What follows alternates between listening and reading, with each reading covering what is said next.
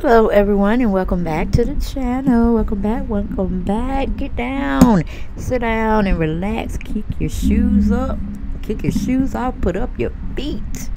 Okay, and let's party on down to the JP. Well, y'all know I'm going with it. but anyway, we're gonna be talking about Tina Turner, her husband, and she's securing a waterfront home in Switzerland at a weekend retreat. Okay, she done bought another house child that's worth 76 million. Okay, and she ain't staying there every day. She just staying there when she feel like it. And then she might go down there every weekend and probably every holiday. But isn't that beautiful? and she secured that with her lifelong well we ain't gonna say her lifelong we're gonna say after she ended her marriage relationship left the United States to go over there to Switzerland. She made a life with that young man. And it can teach Porsha Williams and Simon Guobadia how to attain the success that they have over a long period of time. And we're going to just excuse what Diane may have taught her about securing wealth in a man because Tina Turner was her own self proclaimed entertainer and she with his help, amassed more millions, okay, for their future. But that old train wreck of a relationship, a mess that she tried to sell Andy Cohen, you see how it worked out with her Porsha Family Matters sitcom, okay? Only one season because it was just that hard, but was nobody receiving it. The first time it aired is because everybody was being curious. We wanted to know what was going on because the trailer seemed like it was going to be a good okay ratchet messiness, but we are gonna find some value in it and take away some good points, which it did not. Then we were going back for the last episode because we were trying to figure out who hit who, meaning you know, hands were being thrown on each other's uh, on other people's bodies that they didn't ask for. Okay, so it was a pure hot mess. Now, why PJ wasn't in between them both showing them love? Why did she have to be all over to the side? That's what I keep looking at that picture and I keep thinking there's nothing there. But getting back to the real uh, winners in love as well as success, financial stability success. We're gonna be talking about Tina Turner and her husband buy a, buys a 76 million Swiss estate as a weekend retreat. Okay, so Porsha and Simon can learn a lot from these two entrepreneurs, uh, artists of the entertainment business and other things that we're pretty much going to find out within this article. Okay, thank you for the New York Post. Uh, .com for giving us a salacious story and a heartwarming, heartwarming uh, story as well that two people can actually be married and it lasts. Okay, they go through the ups and downs, the cheating, the not cheating, financial messes and all that and they still come out winning not like these two women okay not like these two women i'm not saying you have to marry a white man or caucasian or you know a caucasian european man not saying that because you can find it in your own culture only thing you need is a willing spirit to be evenly yoked when it comes to everything and i do mean like Katt Williams everything uh with life's um twists and turns that may throw you uh, your way or in your family's way. Because she could have had it all with Dennis McKinley. But for some reason, she wanted more, as usual. With a person like Porsha that's empty in her heart and spirit, that's all you're going to always want. But it's not going to always give you the feeling that you think you should have once you receive them. Okay? But anyway, we're going into the story. It's Mary Kate uh, Jacob wrote it out for us on the 20th of this month. She titled it Tina Turner and Husband buy 76 million Swiss estate as a weekend retreat. Now, Porsha and Simon, this is what we call balling. Not like in that Costa Rica thing. That's something uh, uh, what's her name? Kandi Burruss can attain. And I can see her achieving that certain feat as Tina Turner. She keeps, you know, doing what she need to do. She can be like Oprah as well as uh, Tina Turner and uh, supplying Todd with his every needs and all that kind of stuff. But I remember her writing a book or having a song called "What's Love Got to Do, Got to Do with It." Well, honey, that was when Tina Turner was breaking out, starting on her own, had already divorced Ike, and she was trying to get the hell out of um, of the United States, okay? And uh, she found love and happiness and wealth with her husband, uh, Erwin Bach, okay? So that was just fictitious. That was her crying out moment, her solidifying moment that she was going to be woman, hear her roar. She was going to tackle everything that came her way, and she was going to build a financial stability life for her and her boys. Okay. So step yeah, because everybody needs love. I don't care what nobody say. Everybody needs love love, love. All right. But anyway, going back to the story, it says Tina Turner said goodbye to America decades ago when she began dating longtime partner and now husband. Erwin Bach. After living abroad for years, she finally married him in 2013. See that portion? She just dated him for several, several years before she put a ring on it, or he put a ring on her that she was accepting of receiving from him. Okay? years. Okay, Porsha? Years. But like I said, Kandi's going to become one of those Mongol people to amass her wealth and be able to diversify in any type of place she chooses to see fit. Because I don't think she want to work all her life, you know. She want to be able to leave some legacy, some wealth ec- economic stability for her family so they can do and do go and do what they want to do whether it's going to college whether it's starting out uh, their own business or whatever they're going to have the funds to be able to make several mistakes along the way but still be able to you know get that change change going to where they have stability on their own and they won't have to depend on their parents uh, in the future. So you know Kandi can go over there and, and live in Switzerland if she want to. Hey wherever whenever whatever.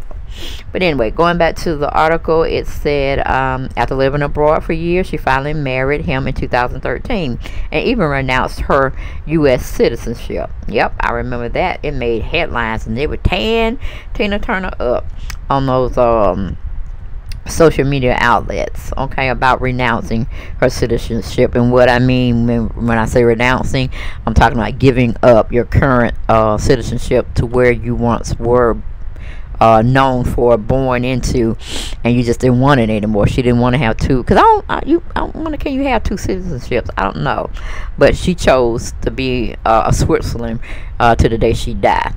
Uh, and not an American. But anyway, going back to the story, says this past September, in their latest move to expand their portfolio in Switzerland, where they now live full time, the couple shelled out a whopping 76 million for a 10 building waterfront estate overlook, overlooking Lake Zurich. Okay? That's right, Lake Zurich, people. Now that's living, okay? And that's just a retreat for the weekend home. That ain't her current home she live in, and I didn't get the pictures of that one. But it is massive as well and look like a mansion, okay? But anyway, going back to the report, it says Swiss news reports reveal that tennis star Roger Federer considered buying the property at one time or one at one point before settling on a different home in the same community as Stafford Village outside Zurich. In an interview with local publication Daily Housing, what do you call it? Handelsing Zinc. Okay, can't pronounce it, but anyway, the 82-year-old singer husband, a native of Germany, said the move was made after they both obtained citizens Swiss nationality. We feel very comfortable in Switzerland, Bach said, due to the pandemic and its consequences. We, like many other Swiss, unfortunately are refraining, refraining from travel.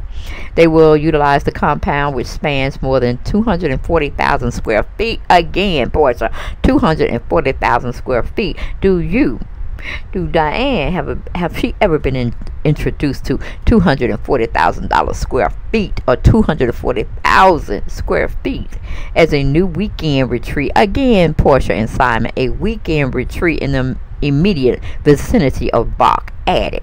Okay, now I'm not talking about Costa Rica. Okay, with all that trafficking, all those drug sales, all of that unsolicited illegal activity goes on. Okay, I had to talk that way just to, you know, not get caught on, you know, certain things where they flag my video or whatever. But okay, this is what we're talking about wealth.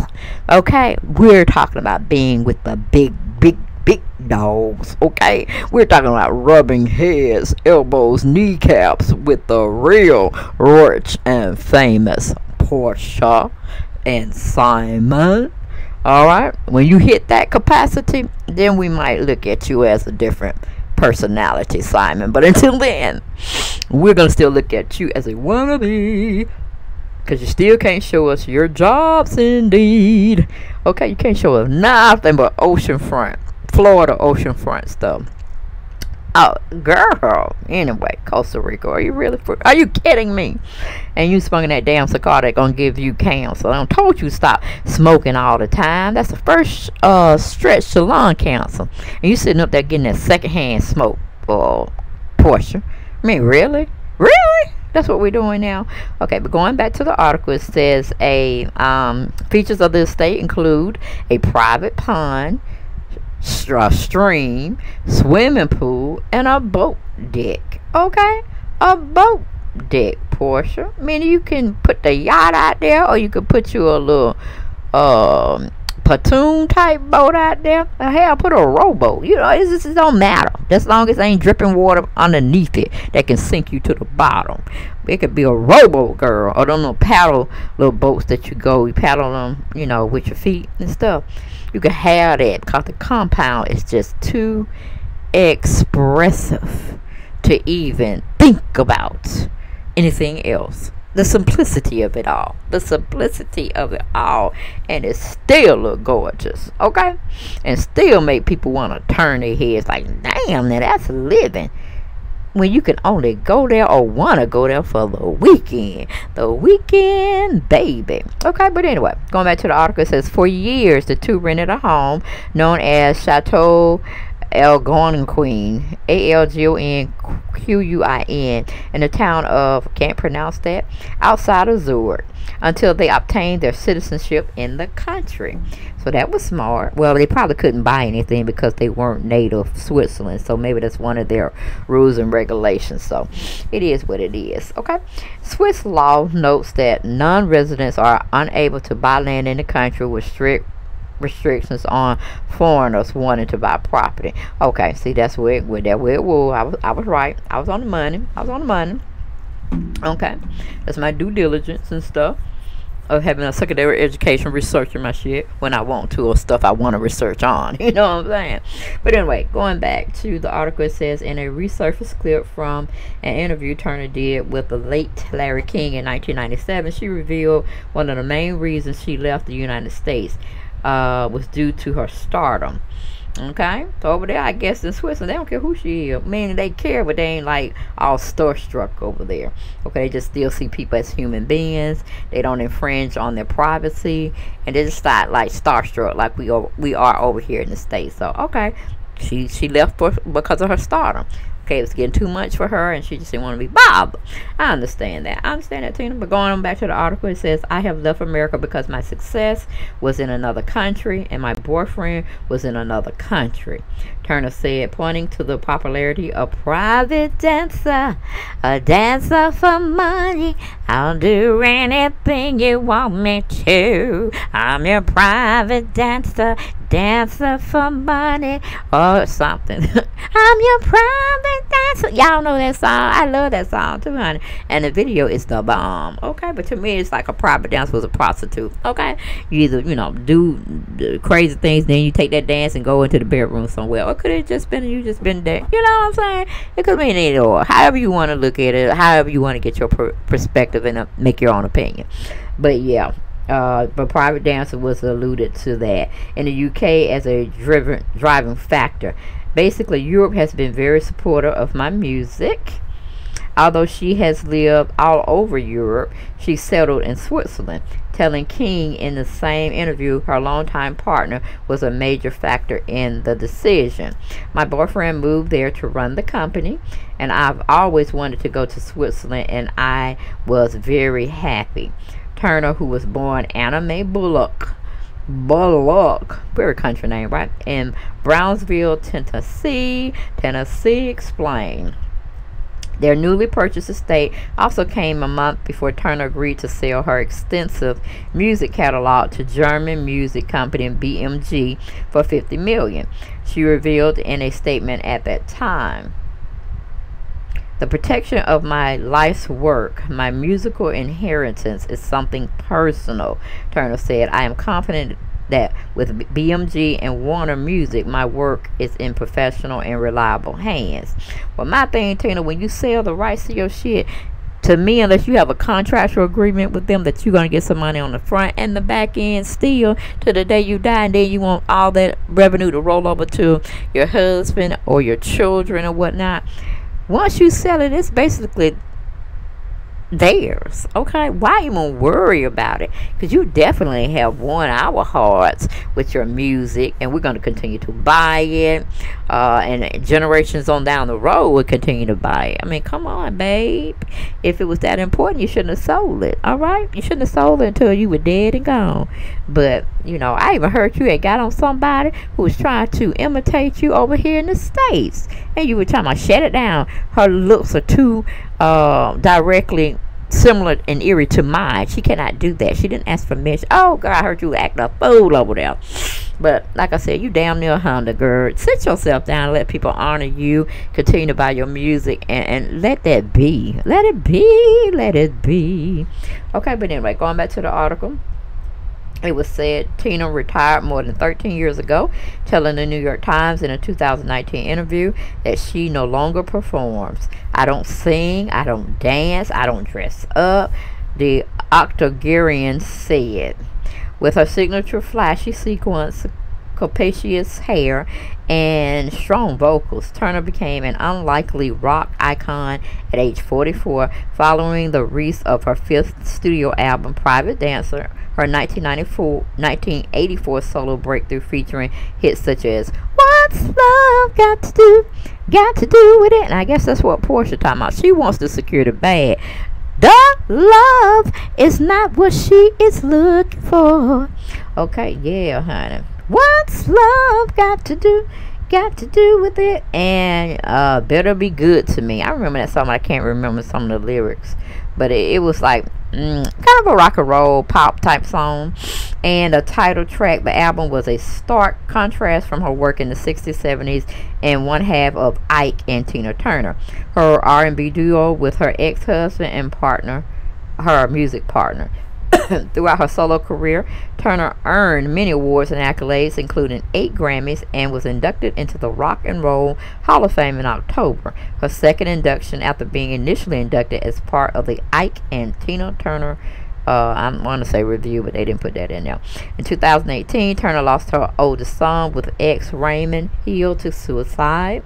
Craig Turner died from a self-inflicted gunshot wound. He was 59 years old. Speaking to BBC News, Turner talked about her son's tragedy, revealing that he's seen fulfilled in both his professional and personal life after finding a new girlfriend. I still don't know what took him to the edge, Turner said, because at that stage he had said to me that he had never met a woman that he felt that way about. He was bringing her to meet me for his birthday in August. He had decorated his apartment that I bought him years ago. He had gotten a new job with a prominent real estate company in California, which he was very happy with. I had no idea what pulled him down, except something that followed him with loneliness. I think it was something with being alone. The last few times we talked, the conversations were different, and I didn't know that until after the suicide. Okay? So she gave us a little piece on her um, son. Um, her oldest son that she had with someone else. Um, that he died of apparent suicide. So I guess the loneliness had succumbed him and he just didn't find a way or was it a sacrifice to You tell me. Which one, girl? Which one was it? Okay, okay, girl. But anyway, that's just my conspiracy theory mind. Just, you know, checking on out sometimes. It does that sometimes with some celebrities that you know was suspect at some time. Okay? But anyway, um, that's the story I had on Porsha Williams and Tina Turner combining the two to show her what real wealth is about. Uh, meaning Porsha Williams to kind of what do you call it understand the importance of being true to thyself knowing what thyself need and want and desire and get them on your own accord don't have a man you know call himself going to make his money and just put you in it. You know, no, Tina had already solidified herself in the industry and she got what she wanted out of it. And she even went so far and renounced her citizenship over here and joined up with Switzerland group over there. So this was a strong, powerful woman that knew what she wanted. Maybe not at the time she started in the industry, but as she grew and understood what things meant and how she wanted to navigate between the two, she was very successful. Okay, not like Porsha Williams, who still don't know. Who's and Candace taking on the effect of building wealth for herself and her family and leaving a legacy, and she's doing it on her own accord, just like Tina Turner did and she's probably trying to aspire to be like Tina as well as other um, good people to look at as far as how they uh, reign to go higher and higher and higher uh, in the business, which, you know, some strange things come from some change, you know what I'm saying? But that's another conspiracy theory just popping out on me because Kandi is climbing a lot uh, higher than the norm time frame for her to be doing certain things but you know this is what it is. But she understands of how to put her wealth and make it work for her and her family in the in the end game of um, thinking and providing. But Han and Porsha still got a long way to go because you know like I said Tina and Kandi their similarities is they had talent and they are making that talent work for them not against them Porsha is 40 years old, and I don't think she's ever going to understand that philosophy. And that's why she's always going to be dependent on a man to take care of her instead of her being as an equal partner in the relationship. And if it don't work out, she knows she can still. Uh, she's not losing anything. She's just gaining back her independence and moving forward to better and uh, better and um, outlook for other lucrative businesses opportunities to come her way. Okay? So it's not like she's losing just because she's losing a mate. Uh, it's just more experience under her belt to when she does want to find another mate or a mate drops down right in front of her. She knows what she's looking for and if they don't meet her criteria she can just check them off and move them to the side and keep on living I mean, just because you don't have a man don't make you stop living and providing for yourself and your family. You just be doing it with the Lord's help, hopefully, always, and, you know, yourself. You know, you can always have um, companions, but don't bring yourself down, watered down, uh, dampered down, damned down to be with somebody who's not necessarily your equal. Because Simon has said in many you know, interviews that I don't think him and Porsha have in, va- in, in common and in value is partying, having a good time. but he really doesn't see her as his equal. And I think it has a lot to do with Diane and how she raised Porsha to cling on to a man for all her security needs because she did the same thing with her husband. And look what, what happened. And this can possibly be a bad relationship for Porsha and like I said, we're all on the outside looking in because only Porsha can know uh, what she wants and what she deals with for her future. And that man putting his hand on her ass, this is so disrespectful for both of them to be at the age that they are. He could have had it around her waist. You know what I'm saying? It's almost like touching her breast, being photographed, touching her breast and holding on to it. anyway, that's all I have for this video, guys. I was just doing a compare and compares or compare comparison of similarities between a wannabe versus a one that's already have accomplished and solidified herself mm-hmm. in the industry with a man or without a man okay but that's all I have for this video. Hopefully I like it, love it, gotta have more. Don't hesitate to click that like button, share, and subscribe to the channel. Okay? I'll see y'all next video, guys. Bye-bye.